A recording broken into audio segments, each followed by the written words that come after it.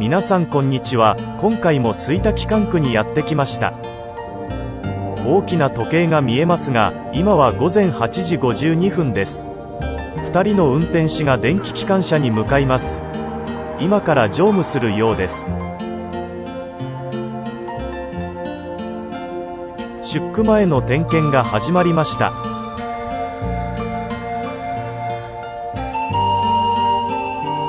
点検を見ていると吹田機関区に車軸輸送用コンテナが入ってきました。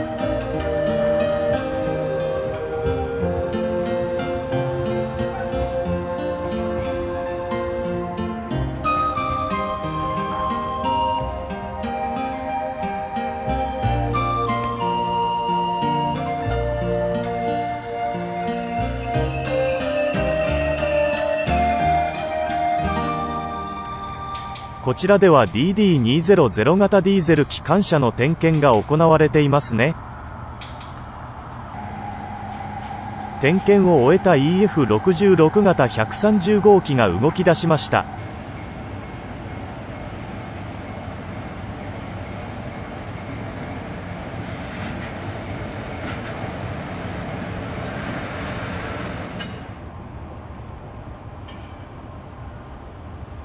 いってらっしゃい。続いて出区するのはこちらの EF210 型でしょうか。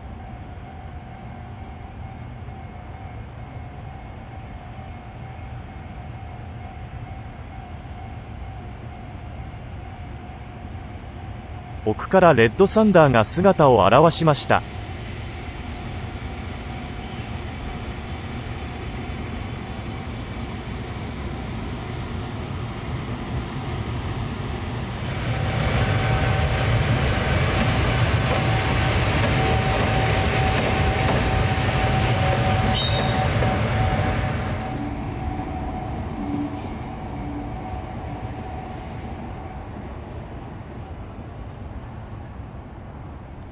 EF66 型128号機が出てきました。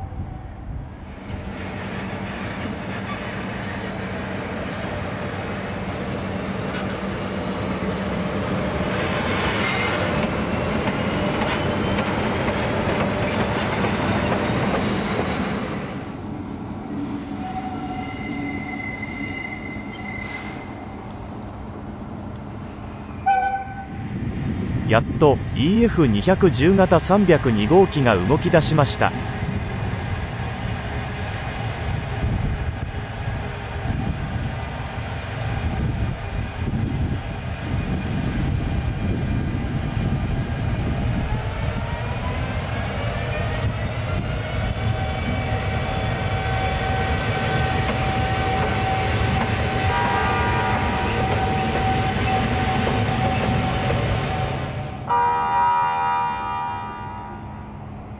DD200 型ディーゼル機関車の点検が終わったようです」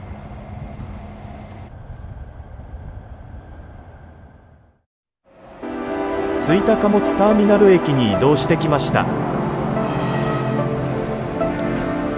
通過する貨物列車が急に停車しました。停止信号でしょうか。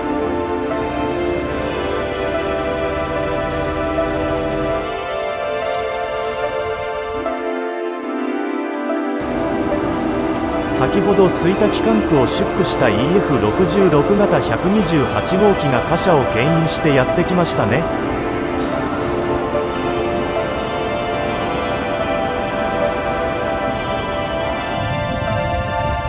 こちらでは130号機が入れ替え作業を行っています。